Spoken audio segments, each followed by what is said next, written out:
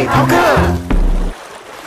我是品味大师傅任来峰。继上次啊，我们的黄金炒饭，哎，大家反应都非常的热烈，而且非常的澎湃。哎，今天要教大家另外一道西式的家常料理，就是香肠花椰菜红酱意大利面。现在介绍一下我们的食材，今天选择的是海涛客的辣味香肠。它这个辣味香肠啊，它层次非常分明，而且它是香，不是那种麻哦，它是香辣。所以它这个拿来做这道意大利面呢，可以增加这一道料理的一个层次感。然后像我们最基本的啊，玉米笋、花椰菜、洋葱。然后我们今天是选择这种哎酸酸甜甜的红酱来做，因为其实很多小朋友就喜欢吃这种酸酸甜甜的，大人也喜欢。我们今天选择的呃意大利面，像这种宽面，因为它吸汁，它会吸的比较彻底，吃起来酱汁会扒的比较多。西式的料理，那我们当然要有一点不一样的香料，像我们这个新鲜的奥利冈。如果你们买不到这个，很简单，你们可以用九层塔来取代。还有我们的这个茴香籽，如果今天你们酱汁里面哎有加一点茴香籽的话，整个感觉是完全不一样的。等下我会教大家怎么去把它的香味做出来。废话不多说，我们直接开煮啦！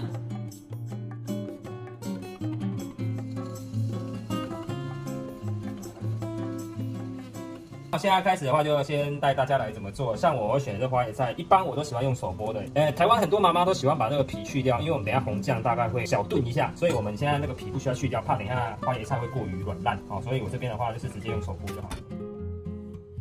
然后像一般呢，你们这个花椰菜的菜心你们都会丢掉，对不对？哎，千万不要，它这个等下下锅经过软化煮化的话，会非常的美味。花椰菜其实主要味道都是在这个菜根上面。好，我们简单的把它切成小块的就好了。等下可以一起把它下锅煮。然后我们可以加一点盐下去，有没有？让它保住一些它蔬菜原本的色泽。我们海涛客的辣味香肠，我们现在直接把它放进去。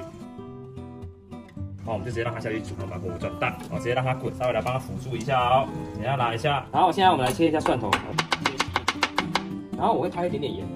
再把它压一下，好，等下它那个里面的蒜汁跑出来下去炒，会更香，有没有？好，OK。洋葱，洋葱的话我们半颗就好。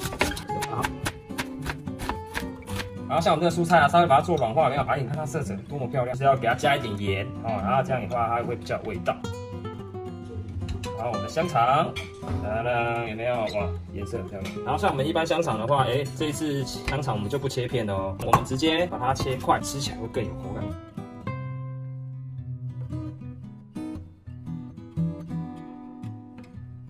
们现在要开始煮酱汁喽。好，我们先下一些油。噔，这是这一道红酱意大利面好吃的秘诀，有没有闻到它的香气？然后我们香肠酱喽。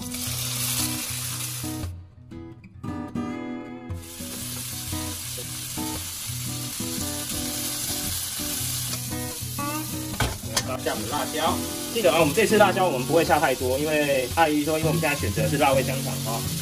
只要有点颜色去调配它的颜色，然后让它吃起来另外一个辣椒的香味层次感就好。这种辣椒我们不要下太多。好，我们现在就倒下蒜头。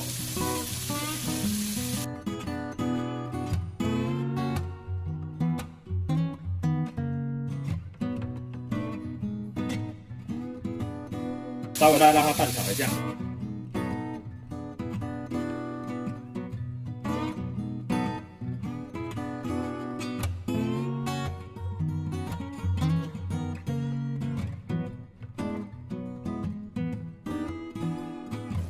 然后像我一般的话，我会捞一点高汤，味道会更美味。不多，可以放一下我们的香料奥利冈叶，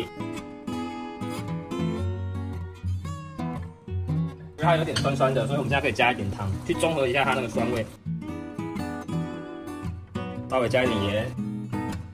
像我们现在啊，就可以看，我们可以一边煮面啊，有没有？然后一边看我们这样子慢炖，其实这感觉真的是很疗愈啊。我们现在要加秘密武器，一般像这种七十粉，哦，大概三十克。好，我们的面已经差不多了，那我们就直接把面捞过来喽，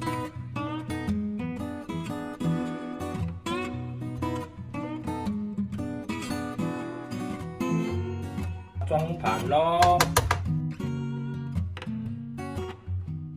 这个简单的花椰菜香肠红酱意大利面，这样就完成了。那我们就直接开始试吃吧。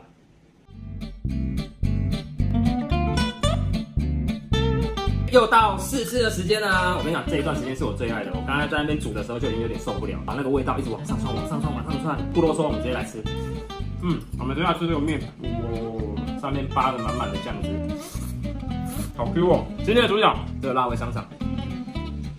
哦哦哦，它真的不是普通的香肠，像我之前在做这个啊，用的是德式香肠，一直都是吃那种烟熏味的，但今天来点不一样了，这个吃起来它是那种香辣的味道，辣口不辣哦，辣椒的香味会串在你的整个口腔里面。哎，希望今天大家喜欢我这一道香肠花椰菜红酱意大利面。这一道它很特别，我们今天选用了台式的辣味香肠来跟欧式的料理做结合，所以它其实搭配起来是非常的合。如果刚刚的动作太快，或是有看不清楚的地方，那我们可以往前拉。如果有喜欢的话，也可以期待我下一次再教大家做的料理。甚至你有比较想要问的、特别喜欢的料理，下面也可以留言，我这边都可以帮你做解答。那我们下次见，拜拜。